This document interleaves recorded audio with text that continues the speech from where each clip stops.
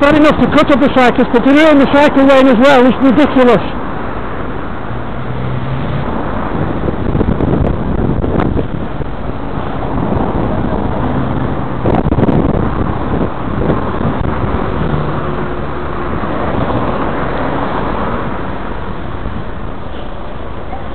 What you did, you know where the lanes go like that? You went straight across and you cut me up in the cycle lane.